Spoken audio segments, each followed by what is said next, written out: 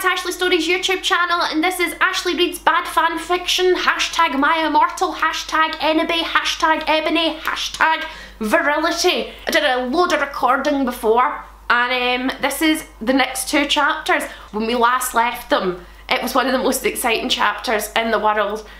Enoby and Draco had sex in a car on top of a tree and she fell asleep during it and had a racist vision. So...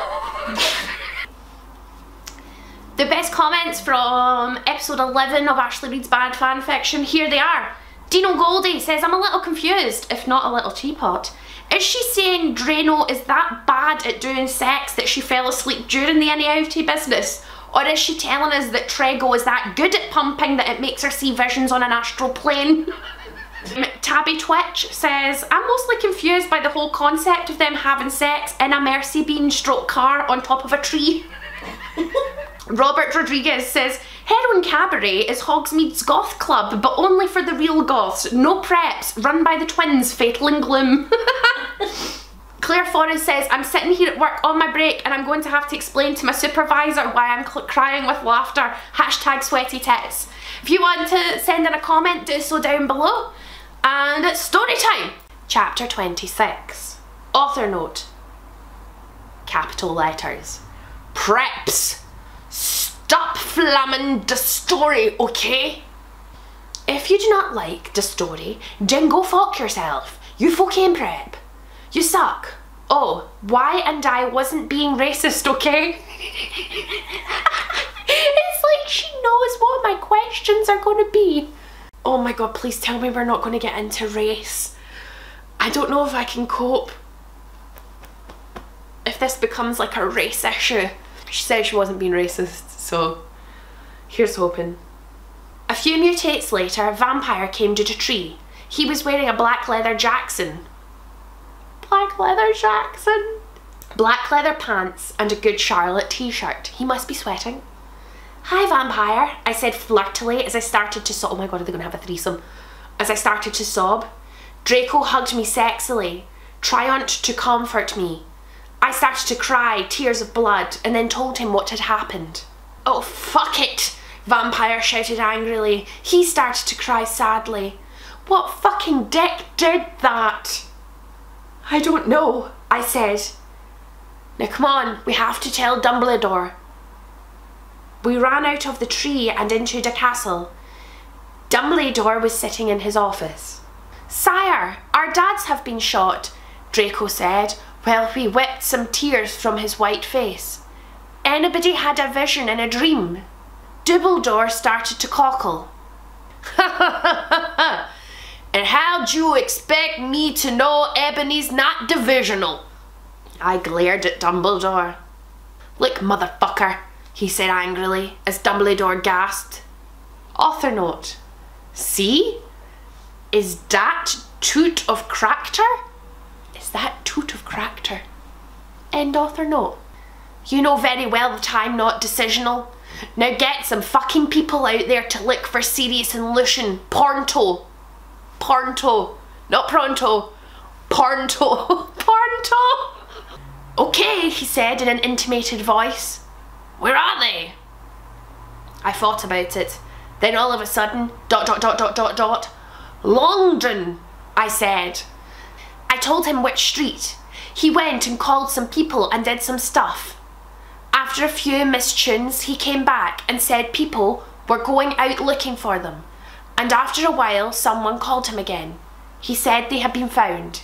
Draco, Vampire, and I all left to our rooms together.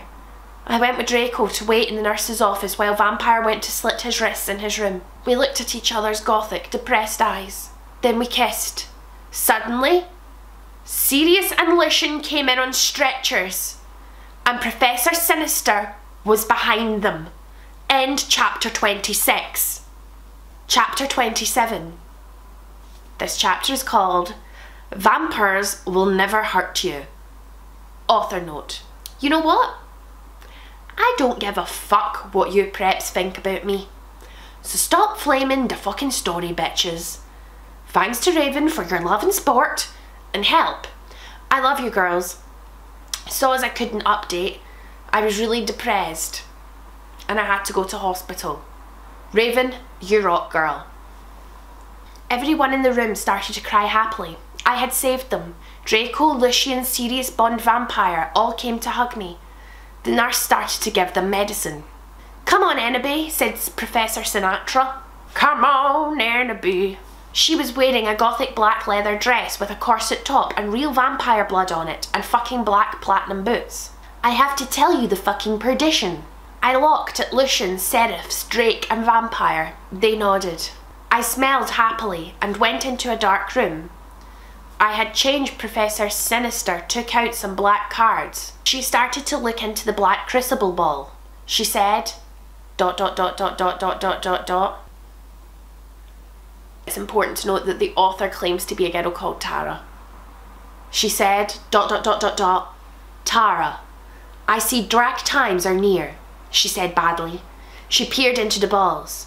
You see? You must go back in time. Yes! Time travel. She took out a time toner like Bloody Mary had when Voldemort was in Hogwarts. Voldemort! Before he became powerful, he got his hearth barking. Now, do you think he would still become Voldemort if he was in love? I shook my head. You must go back in time and seduce him. It is the only way. If he is still evil then, you must kill him. You can come to my room tomorrow. And you can do it. Okay, I said sadly. We did death's tuch sin. I went outside again sadly. What fucking happened? asked Draco and Vampire.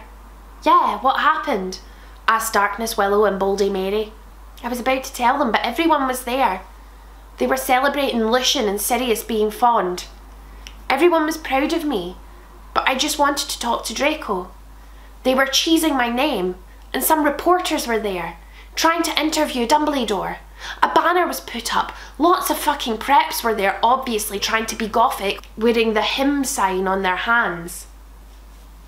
Despite them not actually heard of him, even Mr. Norris looked happy. A black and red cake had been brought out. Crabbe and Goyle had set some fireworks in the shape of skulls from Weasley's Wizard Wheezes. I put on my invisibility cock. With Vampire and Draco, we sneaked outside together. End of chapter 27. I think this is getting exciting, guys.